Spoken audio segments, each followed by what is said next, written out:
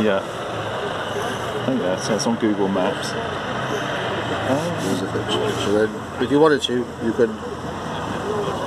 So if you knew it was in a field, actually one down there, you just Oh, it's- fantastic. So that's on top of inlaid on Google Maps. Yep.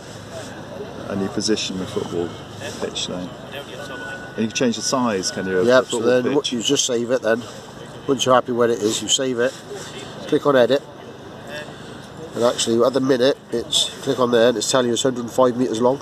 Yeah. but we don't want it 105. We probably want to have it 98. Next, and it is. So it all stays in proportion. Yep, It's and then if you want to change the width, this is 68.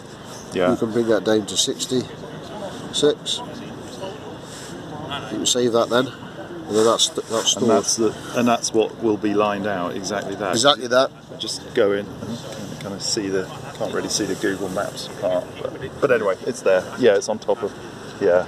Yeah, terrific. God, isn't that clever? Isn't it?